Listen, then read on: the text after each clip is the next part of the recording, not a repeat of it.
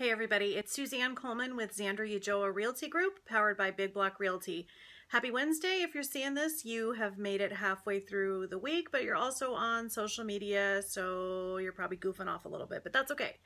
Um, just here to continue the series that I started last week, a few tips to get your home ready to list. Uh, the next tip on the list is if you're going to paint on the inside of the house, which I highly recommend, uh, go neutral. White is good. Uh, light colors, very neutral, um, much more inviting for people coming to look at the house. Uh, next is make your house memorable. Um, put out some fresh flowers, set a simple table, uh, something to help the uh, potential buyers to remember you by. Next one is uh, empty the closets as much as possible. If you're still living there, empty closets look like bigger closets and everybody likes a bigger closet. Kitchen cupboards too. Any spaces that you want to look bigger, the less you have uh, in there is going to make them look bigger.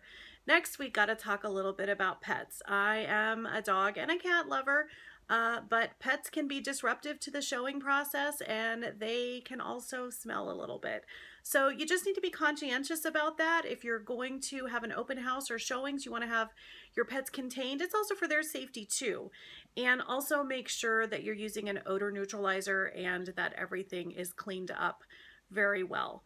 And that is it for today. If you're thinking about listing your house, love to talk to you about it. If you're thinking about buying too, obviously, I'd love to talk to you. My phone number to get me is 619 206 2784. Have a great rest of your week, and I'll talk to you soon.